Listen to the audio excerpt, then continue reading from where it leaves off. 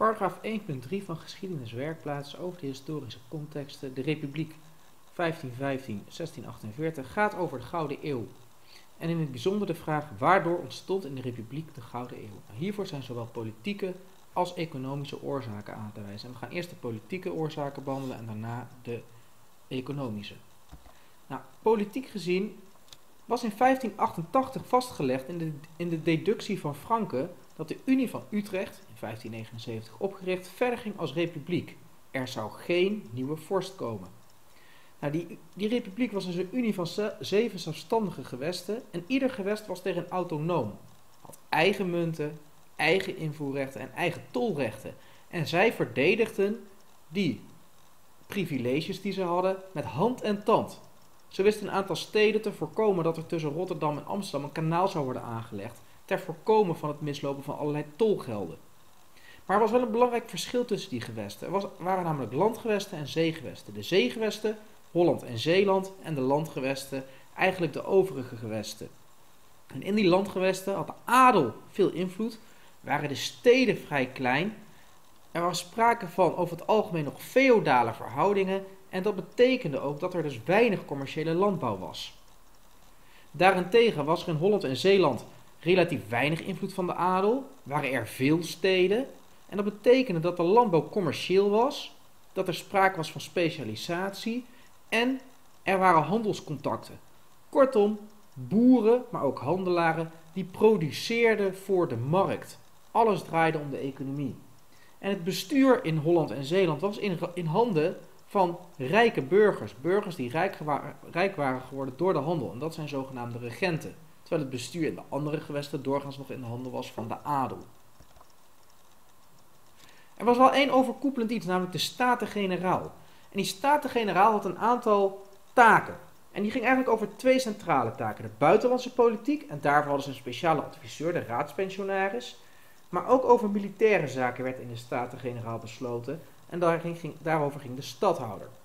Nou, vanaf 1602 kwam daar de VOC bij. En later ook de generaliteitslanden. En dat waren gebieden die veroverd waren op Spanje. Daar waar de bevolking over het algemeen nog katholiek was. En de juiste Staten-Generaal wilde die gebieden gaan besturen.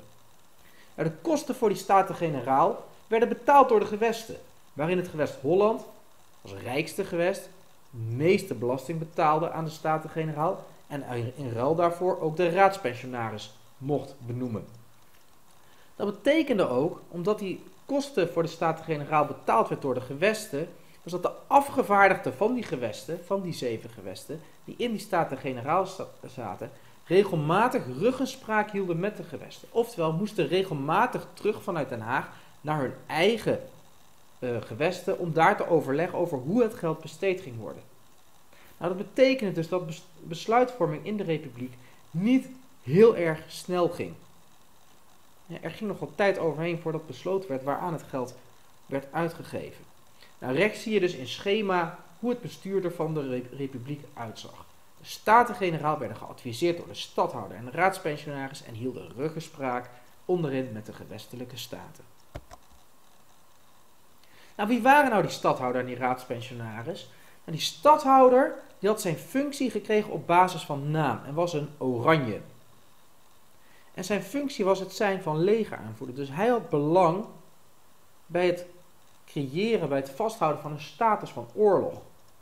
Nou, die stadhouder was altijd van oranje. En de naam stadhouder heeft niks te maken met een stad, maar dat komt van het Duitse stad, wat betekent in plaats van. Dus in plaats van de Staten-Generaal bestuurde Maurits van Oranje het leger. Nou, zijn religieuze opvattingen waren nogal orthodox. Hij was voor een strenge interpretatie van het Calvinisme, oftewel het protestantse geloof. Ook om een scherpe tegenstelling te kunnen krijgen tussen de katholieke Spaanse vijand en de protestanten. Nou, daar stond de raadspensionaris tegenover. En die raadspensionaris werd benoemd op basis van zijn kwaliteit en was een burger. Vaak niet van adel. Hij kwam immers uit Holland betaalde namelijk de meeste belasting. En hij ging juist over buitenlandse handel en contacten. Hij had dus regelmatig contacten met Engeland, Frankrijk, Denemarken. En dat betekende dat hij moest kunnen spelen met mensen. Hij moest ruimte hebben. En dat betekende voor zijn religieuze opvattingen dat die vrij tolerant waren. Oftewel vrijzinnig. Die raadspensionaris van Oldenbarneveld had namelijk uh, daar behoefte aan. Had behoefte aan ruime marges om mee te kunnen onderhandelen. Zij komen in conflict met elkaar. Want tussen 1609 en 1621 wordt er tussen de Republiek en Spanje het 12-jarig bestand afgekondigd. Twaalf jaar lang zouden de wapens zwijgen. Zou Spanje niet vechten tegen de Republiek. En in die republiek ontbrandt bijna een burgeroorlog. En die burgeroorlog draait onder andere om de vraag: wat is nou de juiste interpretatie van het geloof? Maurits van Oranje, de stadhouder, was orthodox, streng Calvinistisch geloof. En hij zei ook dat kwesties van geloof een taak waren van de Staten-Generaal. En daarin werd hij gesteund door zes gewesten. Van Oldenbarneveld daarentegen, die was juist vrijzinnig. En hij zei, nee, niet de Staten-Generaal gaan over het geloof, de gewestelijke staten gaan over het geloof. Oftewel, dat is een kwestie van de gewesten zelf. En daarin kreeg hij de steun van zijn moedergewest, namelijk Holland. En om die spanning een beetje te kunnen controleren, niet dat er allerlei troepen van Maurits zich tegen Hollandse steden gingen keren, kreeg Van Oldenbarneveld het voor elkaar dat de Hollandse steden eigen troepen, zogenaamde waardegelders, mochten inhuren. Om zichzelf te kunnen beschermen tegen de troepen van Maurits. Nou, dat kon Maurits niet accepteren. Want daarmee zou je dus een leger, een tweede leger binnen die republiek krijgen. En dat zag Maurits als een aanval op zijn positie.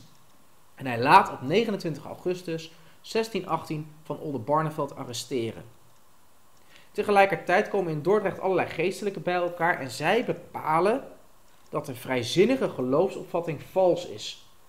En tijdens een rechtszaak wordt van Oldenbarneveld beschuldigd van landverraad en uiteindelijk dus ook onthoofd op 13 mei. Dus de interpretatie van, van, van de vrijzinnige interpretatie van het geloof, werd dus als onjuist, als vervolgbaar geïnterpreteerd. Nou, na 1621 verloopt dat 12-jarig bestand en wordt de strijd hervat. Maar eigenlijk kan niemand een, een overwicht behalen. De Republiek en Spanje winnen af en toe wat, verliezen af en toe wat. Maar eigenlijk blijft die strijd in een impasse. Tegelijkertijd breekt er in Europa een de 30-jarige oorlog uit. Duitsland, Frankrijk en ook andere delen van Europa die raken met elkaar in oorlog. En op een of andere manier heeft Spanje er altijd direct of indirect ermee te maken. En dat betekende dat in Spanje, om die soldaten te kunnen betalen, de belastingen ontzettend hoog waren. En dat leidde in 1630, of vanaf 1630, tot allerlei onrusten in Spanje. Allerlei gebieden in Spanje, Catalonië bijvoorbeeld, kwamen in opstand tegen de Spaanse koning. En dat wilde de Spaanse koning niet. Daar moest een einde aan komen. En in 1648 zijn de geesten zo rijp dat er een einde moet komen aan die oorlogen in Europa. En dat wordt de vrede van Münster of de vrede van Westfalen. Die maakten een einde aan de 80-jarige oorlog tussen de Republiek en Spanje en tegelijkertijd een einde aan de 30-jarige oorlog. En rechts zie je de ondertekening van die vrede van Münster. Nou, wat betekende dat nou voor die economie? Daar komen we zo op, want in 1648 werd er een herinneringspenning uitgegeven in Amsterdam. En daarover is een examenvraag gesteld en die staat hier. Nou, wat betekent dat nou voor de economie, die periode 1588-1648, die eigenlijk wordt gezien als de gouden eeuw van de Nederlanden, van de Republiek? Nou, de basis daarvoor werd al veel eerder gelegd.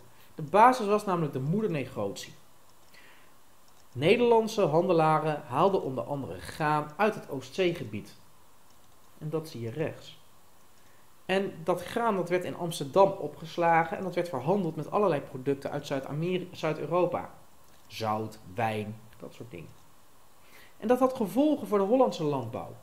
Want die Hollandse landbouw was sterk specialistisch, konden zich bezig gaan houden met allerlei bijproducten, die bijvoorbeeld noodzakelijk waren voor de scheepvaart, hennep en vlas, en was commercieel, was gericht op handel met andere producten. Hollandse boeren produceerden dus voor de markt. En de winsten die zij maakten met die moedernegotie, die werden opnieuw geïnvesteerd. Tegelijkertijd had, hadden Holland en Zeeland relatief weinig last van die 80-jarige oorlog. Hier zien een aantal veldslagen tijdens de 80-jarige oorlog. En wat opvalt is dat zij buiten Holland en Zeeland worden uitgevochten. Die vinden plaats in Vlaanderen, in Brabant, in Gelre, in Limburg. En in 1585 wordt Antwerpen ingenomen door de troepen van Spanje onder leiding van Parma. En dat betekent dat heel veel protestantse vluchtelingen naar Holland gingen om daar hun werk voor te zetten. Want die protestanten waren over het algemeen handelaren en zij namen dus hun handel, hun winkel en hun klanten mee naar Holland en Zeeland. En dat betekende een bloei voor die Hollandse en Zeelandse steden.